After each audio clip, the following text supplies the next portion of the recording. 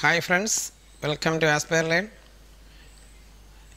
ഇന്ന് നമ്മൾ റിപ്പോർട്ടേഴ്സ് പേജിന്റെ പുതിയൊരു ഭാഗത്തിലേക്ക് കിടക്കുകയാണ്.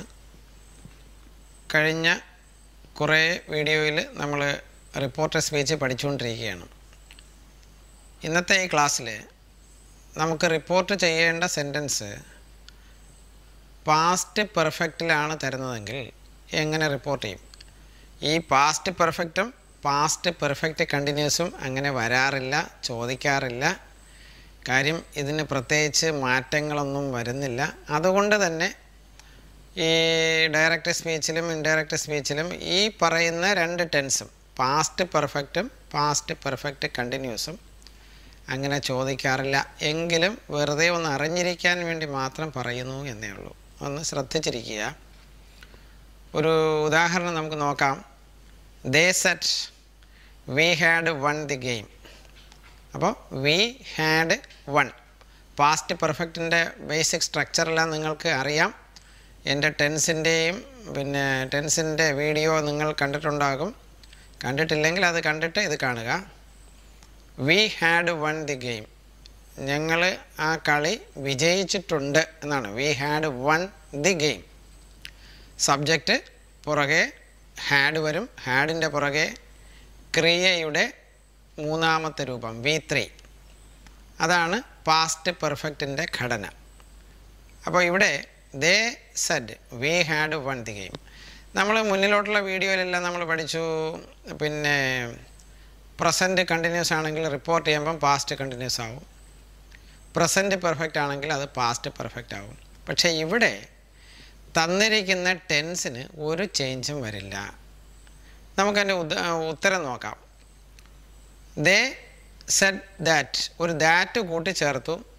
വി എന്നുള്ള സബ്ജക്റ്റ് മാറി ദേ വന്നു. ഇത്രയേ ഉള്ളൂ. വേറെ ഒരു ചേഞ്ചും ഇല്ല. They said that they had won the game. അതുകൊണ്ട് തന്നെയാണ് ഇത് അങ്ങനെ ചോദിക്കാറില്ലാത്തത്. ഇതൊരു വലിയ പ്രാധാന്യമുള്ള ഒരു കാര്യമായിട്ട് വരാത്തതിന് കാരണം ടെൻസിന് യാതൊരു ചേഞ്ചും വരുന്നില്ല എന്നത് തന്നെയാണ് മുഖ്യമായ കാര്യം.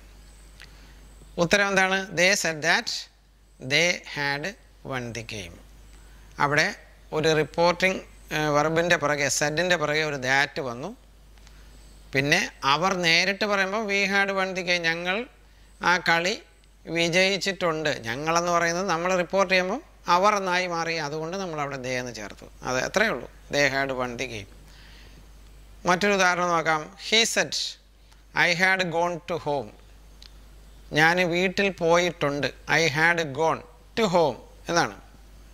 എങ്ങനെ റിപ്പോർട്ട് ചെയ്യുമ്പോൾ എന്താ മാറ്റം? അവിടെ ഒരു ദാറ്റ് കൂട്ടിച്ചേർക്കണം. ഹീ സെറ്റ് ദാറ്റ് ഐ എന്നുള്ളത് മാറി ഹീ എന്നാവും. ഇത്രയേ ഉള്ളൂ. He had gone to home വേറെ വ്യത്യാസങ്ങളൊന്നുമില്ല ഒരെണ്ണം കൂടെ നോക്കിയിട്ട് നമുക്ക് അവിടെ അവസാനിപ്പിക്കാം. Ajayan said I had passed the exam Ajayan പറഞ്ഞു. എന്ത് പറഞ്ഞു?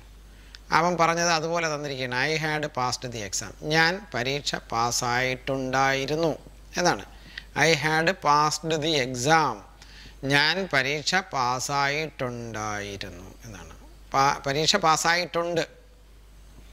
അപ്പോൾ അതിന് റിപ്പോർട്ട് ചെയ്യണം. അജയൻ സെറ്റ് ഒരു ദാറ്റ് കൂട്ടിച്ചേർത്ത് ദാറ്റ് അവിടെ ഐ എന്നുള്ളത് മാറി നമ്മൾ റിപ്പോർട്ട് ചെയ്യുമ്പോൾ അല്ലെങ്കിൽ കേട്ടുകൊണ്ടിരുന്ന ആൾ റിപ്പോർട്ട് ചെയ്യുമ്പോൾ അവനായി മാറും. ഐ എന്ന് പറയുന്ന ഞാൻ ആരായി മാറും? അവനായി മാറും. അപ്പോൾ അത് ഹി എന്ന് എഴുതി. He had passed the exam എന്നായി. അപ്പോൾ അതിൽ വലിയ മാറ്റങ്ങളോ ഒന്നും തന്നെ ഇല്ല. ജസ്റ്റ് ഒന്ന് അറിഞ്ഞിരിക്കുക അത്രയേ ഉള്ളൂ. അടുത്തത് പാസ്റ്റ് പെർഫെക്റ്റ് കണ്ടിന്യൂസ്. ഇതിലും അങ്ങനെ റിപ്പോർട്ടർ സ്പീച്ച് അങ്ങനെ വരാറില്ല. അവിടെയും നമ്മൾ ഈ മുകളിൽ കണ്ടതുപോലെ തന്നെയാണ്. അവിടെ ടെൻസിന് യാതൊരു മാറ്റവുമില്ല. അപ്പോൾ പാസ്റ്റ് പെർഫെക്റ്റ് കണ്ടിന്യൂസിന്റെ ഘടന നിങ്ങൾക്ക് എല്ലാവർക്കും അറിയാം. സബ്ജക്റ്റ് പുറകെ ഹാഡ് ഒരു ബീൻ ഹാഡ് ബീൻ പുറകെ വരും. അതിന്റെ പുറകെ ക്രിയയുടെ ഐ എൻ ജി ഫോം നമുക്ക് ആദ്യത്തെ എക്സാമ്പിൾ നോക്കാം. I had been living in Delhi she അവൾ പറഞ്ഞു. അവൾ എന്ത് പറഞ്ഞു? ഞാൻ ഡൽഹിയിൽ താമസി താമസിക്കുകയായിരുന്നു. ഏ? താമസിച്ചിട്ടുണ്ടായിരുന്നു എന്നാണ്. താമസിച്ചിട്ടുണ്ടായിരുന്നു. I had been living in Delhi അവിടെ നമ്മൾ ഷീ സെഡ് ദാറ്റ് ഷീ ദാറ്റും ഷീയും കൂട്ടിച്ചേർക്കുന്നു. വേറെ ഒരു വ്യത്യാസവുമില്ല. She said that she had been living in Delhi ഇതേ ഉള്ളൂ. നമുക്ക് ഒരു എക്സാമ്പിൾ കൂടെ നോക്കാം. The teacher said I had been watching you teacher പറഞ്ഞു. എന്താ പറഞ്ഞത്? ഞാൻ നിന്നെ വാച്ച് ചെയ്തിട്ടുണ്ടായിരുന്നു. എന്നാണ് I had been watching you എങ്ങനെ മാറും? ദി ടീച്ചർ സെറ്റ് ദാറ്റ് അവിടെ ഐ എന്നുള്ളത് മാറി ഷീ ഇപ്പോൾ ഒരു ലേഡി ടീച്ചർ ഒരു ലേഡിയാണെന്ന് സങ്കല്പിക്കുക. അങ്ങനെയാണെങ്കിൽ ഷീ ഇനി ടീച്ചർ ഒരു ജെന്റിൽമാനാണ് എങ്കിൽ ഹി ഇത്രയേ ഉള്ളൂ. The teacher said that she had been watching me ആവും അരി യു എന്നുള്ളത് നമ്മളെയാണ് നമ്മളെയാണ് വാ ടീച്ചർ വാച്ച് ചെയ്തുകൊണ്ടിരുന്നതെന്ന് സങ്കല്പിച്ചാൽ നമ്മൾ റിപ്പോർട്ട് ചെയ്യുമ്പോൾ നമ്മൾ പ്രത്യേകിച്ച് ആരെയൊന്ന് ആരെയൊന്ന് പ്രധാനമായിട്ട് തന്നിട്ടില്ലെങ്കിൽ അത് നമ്മളോടാണ് ചോദിച്ചതെന്നുള്ള ധാരണയിൽ നമ്മൾ എന്ത് ചെയ്യണം? റിപ്പോർട്ട് ചെയ്യണം. അങ്ങനെയാണെങ്കിൽ she had been watching me എന്നാവും. ഇതാണ് പാസ്റ്റ് പെർഫെക്റ്റും പാസ്റ്റ് പെർഫെക്റ്റ് കണ്ടിന്യൂസിനെ സംബന്ധിച്ച കാര്യങ്ങൾ.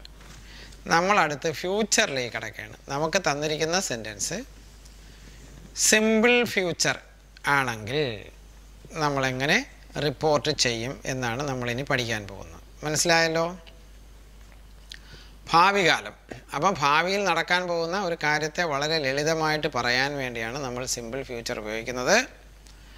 അവിടെ നോക്കിയ ഒരു ഉദാഹരണം. She said I will go to London അവൾ പറഞ്ഞു ഞാൻ ലണ്ടനിൽ പോകും.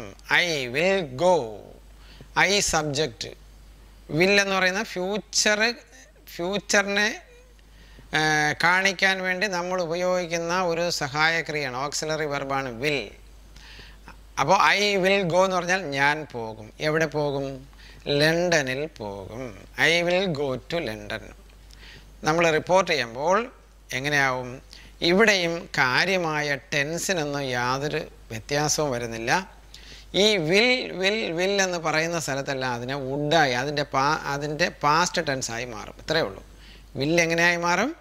വുഡായി മാറും. She said that she would go to London she said that she would go to London വളരെ എളുപ്പമാണ്.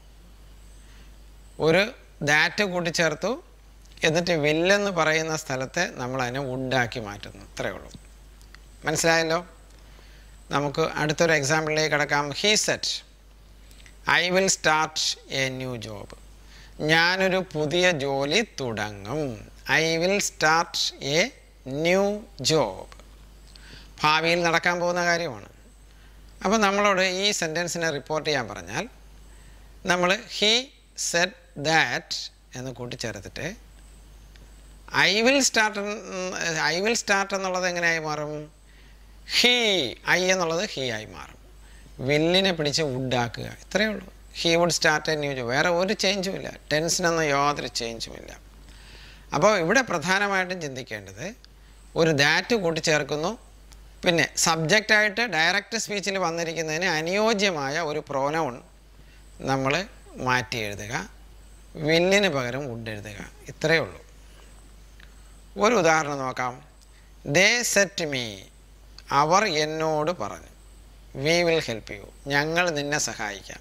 വി വിൽ ഹെൽപ്പ് യു അവിടെ എങ്ങനെയാണ്? He said to me that ഞങ്ങൾ നിന്നെ സഹായിക്കാം. നമ്മൾ റിപ്പോർട്ട് ചെയ്യുമ്പോൾ അവർ എന്നെ സഹായിക്കാമെന്ന് പറഞ്ഞു എന്നല്ലേ പറയുള്ളൂ. അപ്പോൾ അവർ ദേ വില്ലെങ്ങനെയായി മാറും? വുഡായി മാറും. ദേ വുഡ് ഹെൽപ്പ് മീ ആവും. കാര്യം നിങ്ങ നിന്നെ ഞങ്ങൾ സഹായിക്കാൻ നിന്നെ എന്ന് പറഞ്ഞാൽ നമ്മളോടാണ് പറയുന്നത്.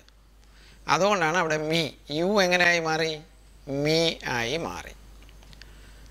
അപ്പോൾ ഞങ്ങൾ നിന്നെ സഹായിക്കാം. എന്ന് പറയുമ്പോൾ എന്നെ അവർ സഹായിക്കാമെന്ന് പറഞ്ഞു. They said me that they would help me എന്നായി മാറി. ഒരെണ്ണം കൂടെ നോക്കാം. She said I will not waste time ഞാൻ സമയം പാഴാക്കില്ല. അവൾ പറഞ്ഞു.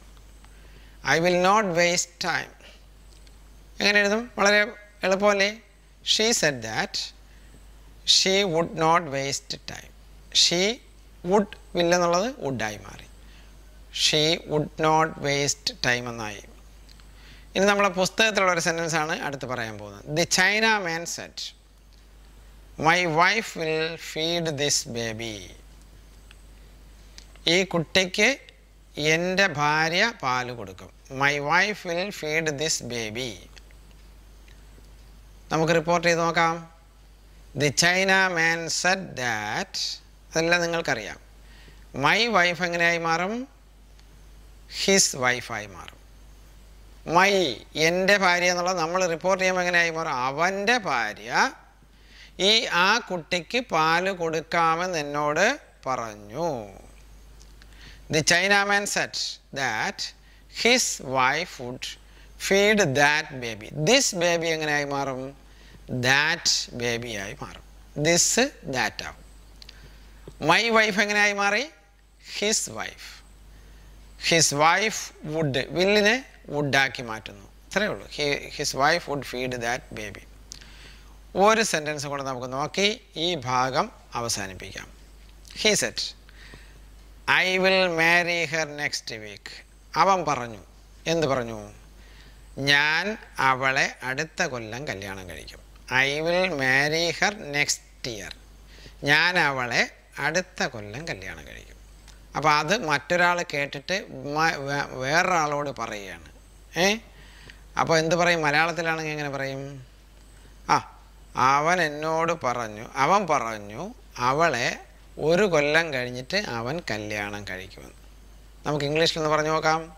ഹീ സെഡ് ദാറ്റ് ഐ എന്നുള്ളത് ഹീ ആയി മാറും. വിൽ എന്നുള്ളതിന് എന്താക്കി നമ്മൾ മാറ്റും? വുഡാക്കും വേറെ ഹീ വുഡ് മാരി ഹർ ആ നെക്സ്റ്റ് ഇയറിന് എന്തായി മാറും? ദി ഫോളോയിങ് ഇയറായി മാറും. അത് അങ്ങനെ വരുന്ന കാര്യങ്ങളുടെ മാറ്റമെല്ലാം ഒരു ചാർട്ടായിട്ട് നമ്മൾ ഒരു വീഡിയോയിൽ ഉൾപ്പെടുത്തിയിട്ടുണ്ട്. ആ വീഡിയോ കണ്ടിട്ടില്ലെങ്കിൽ കാണുക. കണ്ടതിന് ശേഷം ഇത് കണ്ടാലും മതി. അപ്പോൾ നെക്സ്റ്റ് ഇയർ എങ്ങനെയായി മാറി? ദി ഫോളോയിങ് ഇയർ അപ്പോൾ ഉത്തരം എന്ത് കിട്ടി? He said that he would marry her the following year എന്നായി. അപ്പോൾ ഇതാണ് സിമ്പിൾ ഫ്യൂച്ചർ ടെൻസിൽ ഒരു സ്റ്റേറ്റ്മെന്റ് നമുക്ക് തന്നാൽ റിപ്പോർട്ട് ചെയ്യേണ്ടത് ഈ രീതിയിലാണ്. വലിയ വ്യത്യാസങ്ങളൊന്നുമില്ല. വില്ലിന് ഉണ്ടാവും. പിന്നെ സബ്ജക്റ്റിന്റെ അർത്ഥമനുസരിച്ച് നമ്മൾ അനുയോജ്യമായ പ്രോനൗൺ റിപ്പോർട്ട് ചെയ്യുമ്പോൾ എഴുതണം. ഇത്രയേ ഉള്ളൂ. അടുത്തത് ഫ്യൂച്ചർ കണ്ടിന്യൂസ് ആണ്. ഫ്യൂച്ചർ കണ്ടിന്യൂസിനും വേറെ വലിയ വ്യത്യാസങ്ങളൊന്നുമില്ല. വിൽ ബി നമ്മൾ നേരത്തെ വില്ല് വുഡാവും എന്ന് പറഞ്ഞു. ഇവിടെ വിൽ ബി വിൽ ബി എന്നായിരിക്കും വരുന്നത് ഫ്യൂച്ചർ കണ്ടിന്യൂസിൽ അവിടെ എല്ലാം would be would be would be എന്നാവും. ഇത്രയേ ഉള്ളൂ. വേറെ ഒരു വ്യത്യാസവും ഇല്ല. നോക്കാം. He said to me I will be waiting for you അവിടെ he said to me that I will be waiting എന്നുള്ളത് എങ്ങനെയായി മാറി? He would be waiting he would be waiting for me for you എന്നുള്ളത് me ആയി മാറും. കാര്യം നമ്മളോടാണ് പറഞ്ഞത് എന്നുള്ള രീതിയിലാണ് നമ്മളത് ചെയ്യുന്നത്. നിന്നെ ഞാൻ കാത്തുകൊണ്ടിരിക്കും. നിന്നെ ഞാൻ വെയിറ്റ് ചെയ്തുകൊണ്ടേയിരിക്കും ഭാവിയിൽ. വെയിറ്റ് ചെയ്യുകയായിരിക്കും. എന്നാണ് I will be waiting for you എന്ന് പറഞ്ഞാൽ നിനക്ക് വേണ്ടി ഞാൻ വെയിറ്റ് ചെയ്തുകൊണ്ടിരിക്കും എന്നാണ്. അപ്പോൾ he said to me that he would be waiting for me ഒരു എക്സാമ്പിൾ കൂടെ നോക്കാം. David said I will be making tea I will be making tea ഞാൻ ചായ ഉണ്ടാക്കുകയായിരിക്കും. ഫ്യൂച്ചറിൽ ഭാവിയിൽ എപ്പോഴോ നടക്കാൻ പോകുന്ന കാര്യമാണ്. ഞാൻ ചായ ഉണ്ടാക്കുകയായിരിക്കും എന്നാണ്. അപ്പോൾ David said that he will be എന്നുള്ളത് എങ്ങനെയായി മാറി? അല്ല ഐ വിൽ ബി എന്നുള്ളത് എങ്ങനെയായി മാറി? He would be making tea എന്നാവും. He would be making tea എന്ന് ആകും. She said I will be feeding my kids she said that he would be feeding her kids I will be feeding എങ്ങനെയായി മാറും? He would be feeding my kids എന്ന് എങ്ങനെയായി? Her kids അവളുടെ കുട്ടികൾക്ക് കുട്ടികൾക്ക് എന്നായി മാറും. ഹെർ കിഡ്സ് എന്നായി മാറും. അപ്പോൾ ഇതാണ് ഫ്യൂച്ചർ കണ്ടിന്യൂസ് ഫ്യൂച്ചർ കണ്ടിന്യൂസ് ഇനി ഫ്യൂച്ചർ പെർഫെക്റ്റ് കണ്ടിന്യൂസ് ഇതൊന്നും തന്നെ പ്രായോഗിക തലങ്ങളിൽ ചോദിക്കാറില്ലാത്ത ടെൻസ് രൂപങ്ങളാണ്.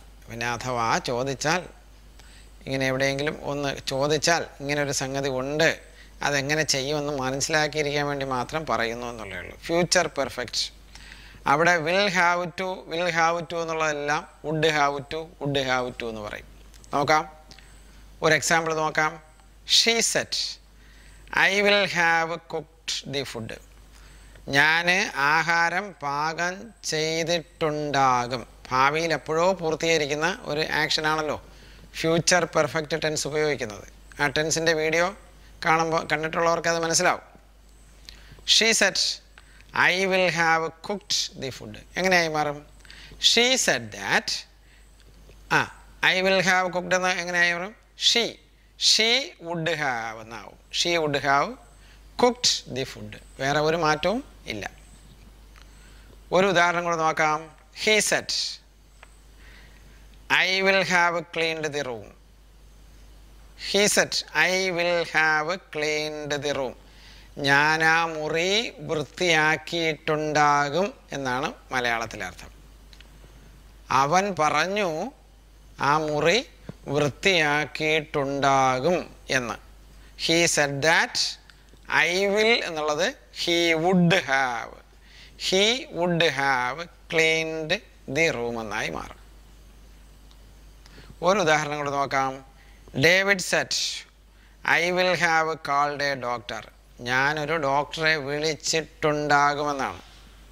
ഡേവിഡ് സെറ്റ് ദാറ്റ് ഹീ ഐക്ക് പരം he will have would have വേറെ ഒരു മാറ്റവുമില്ല. David said that he would have called a doctor എന്നായി മാറും.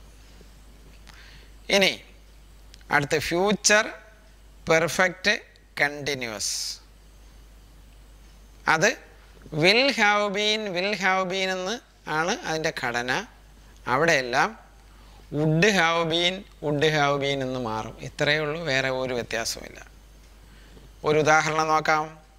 She said I will have been cooking the food ഞാൻ ആഹാരം പാകം ചെയ്തുകൊണ്ടിരിക്കുകയായിരിക്കും എന്നാണ്. നോക്കാം. She said I will have been cooking the food അതിനെ റിപ്പോർട്ട് ചെയ്യുമ്പോൾ ഷീ സെറ്റ് ദാറ്റ് ഐ എന്നുള്ളത് മാറി ഷീ ആയി. കാര്യം ഇപ്പുറത്തെ സബ്ജക്റ്റ് ഷീ ആണല്ലോ. ഷീ സെറ്റ് അവളാണല്ലോ പറഞ്ഞത്.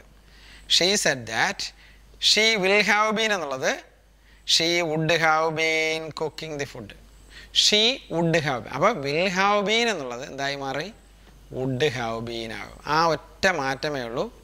ബേസിക് ടെൻസിനൊന്നും യാതൊരു വ്യത്യാസവുമില്ല ഒറ്റ ഉദാഹരണം കൂടെ നമുക്ക് നോക്കാം.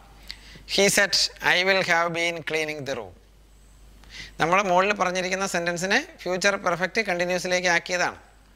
He said I will have been cleaning the room എങ്ങനെ എഴുതും? He said that he would have been cleaning the room എന്നായി മാറും. അപ്പോൾ വിൽ ഹാവ് ബീനെ വുഡ് ഹാവ് ബീൻ എന്ന് മാറ്റി എഴുതുന്നു. ഒരു ദാറ്റ് കൂട്ടിച്ചേർക്കുന്നു. സബ്ജക്റ്റിന് അനുയോജ്യമായ ഒരു പ്രോനൗൺ ഇപ്പുറത്ത് എഴുതുന്നു. അങ്ങനെയാണ് ഇതെല്ലാം ചെയ്യുന്നത്. ഫ്യൂച്ചർ പെർഫെക്റ്റ് കണ്ടിന്യൂസ് ആയാലും ഫ്യൂച്ചർ പെർഫെക്റ്റ് ആയാലും ഫ്യൂച്ചർ കണ്ടിന്യൂസ് ആയാലും ഇങ്ങനെ തന്നെയാണ് നമ്മൾ റിപ്പോർട്ട് ചെയ്യേണ്ടത്. അപ്പോൾ റിപ്പോർട്ടർ സ്പീച്ചിന്റെ ഇന്നത്തെ ഈ ക്ലാസ് നിങ്ങൾക്ക് എല്ലാവർക്കും ഭംഗിയായി മനസ്സിലായി കാണും. മനസ്സിലായി ഇഷ്ടപ്പെട്ടു എങ്കിൽ ഈ വീഡിയോ ലൈക്ക് ചെയ്യുക സുഹൃത്തുക്കളിലേക്ക് ഷെയർ ചെയ്യുക. ചാനൽ സബ്സ്ക്രൈബ് സബ്സ്ക്രൈബ് ചെയ്യാത്തവരുണ്ടെങ്കിൽ ചാനൽ സബ്സ്ക്രൈബ് ചെയ്യുക. ബെല്ലൈക്കൺ പ്രസ് ചെയ്യാൻ മറന്നു പോകരുത്. അപ്പോൾ നമുക്ക് മറ്റൊരു ക്ലാസ്സുമായി വീണ്ടും കാണാം. Till then good bye